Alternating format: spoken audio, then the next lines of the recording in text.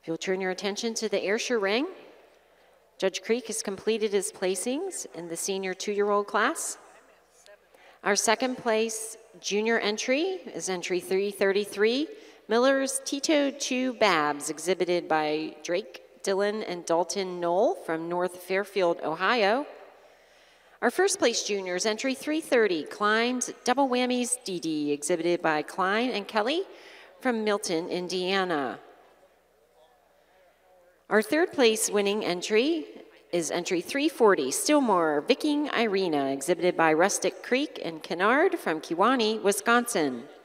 Second place in the class is entry 2, 3, excuse me, 332, Steel Fire Burdette Grayson, exhibited by Jeffrey Winkler from Woodbine, Maryland. And winning the class with the production award, Best Bred and Owned and Best Udder is entry 335, Heinemann Regan Roz, exhibited by Ava Heinemann from Attica, New York. Congratulations. Judge Creek, your comments. Well, ladies and gentlemen, if you came to see a dairy show and tremendous mammary systems, look no further than the first two animals in this class. The cow that wins the class does so with a nearly perfect mammary system. She has the height, the width, the fullness, the firmness at the top of that rear udder. It blends so smoothly into her body. She has a forudder that, uh, uh, it's an Ayrshire forudder, folks. It's, it's got the length, the tightness of attachment, the correctness of teat placement. She walks on a beautiful set of feet and legs. She's chiseled back through that rump structure and those hips and pins. And she has an advantage over the cow in second for just being fuller and firmer at the top of that rear udder. Cow in second follows the pattern very, very closely. A cow that we give an advantage, the cow in second we give an advantage over the cow in first for having more breed character, cleanliness, angularity up through that head and neck, freeness of flesh through that throat, dewlap, and brisket. A cow in second that also wears a beautiful mammary system and walks on a quality set of feet and legs. It's the bloom to her mammary system, the strength and width throughout the place her over a beautiful uh, framed cow we have coming in third. Cow in third has been fresh nearly a year a beautiful dairy cow. She has that height to chine, that smoothness of blending of parts, that open rib structure as we, view, as we view her from behind.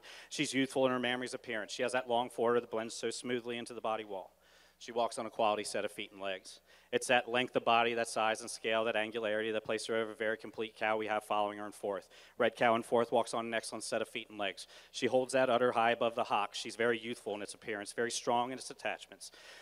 The teat sits squarely beneath the udder floor. She has an advantage over the over the animal that follows are there in fifth, and that cleanliness, that angularity, that modern dairy frame. Heifer in fifth, then over the heifer in sixth, it's that width the rear udder, that strength of fore udder attachment, and the correctness to her feet and legs and rump structure and back through her pelvic area that give her advantage over a big, tall, long heifer we have coming in six. Heifer in six, we admire the size and scale, the length of body, the dairiness. We'd like to give her a little bit more bloom to the top of that rear udder, more width to that rear udder to get her higher up the class. She places over a heifer in seventh just has an advantage in that style and balance through the front end, that smoothness and blending of parts. But a heifer in seventh that we certainly admire the youthful appearance, the parts that she puts together, and would love to see her calved in again. A wonderful class of senior two-year-olds, incredible quality, incredible mammary systems, just a terrific class for the Ayrshire Show.